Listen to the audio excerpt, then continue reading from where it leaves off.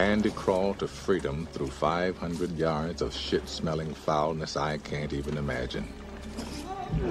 Or maybe I just don't want to.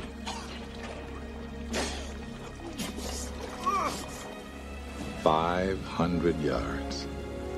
That's the length of five football fields. Just shy of half a mile.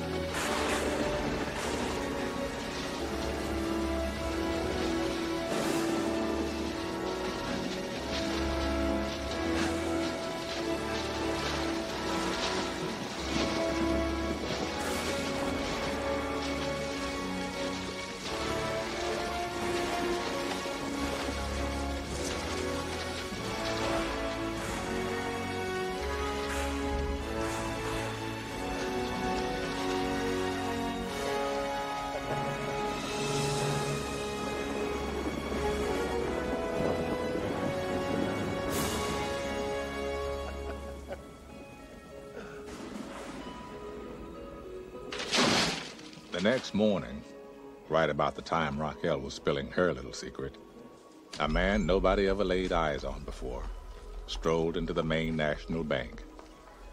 Until that moment, he didn't exist, except on paper.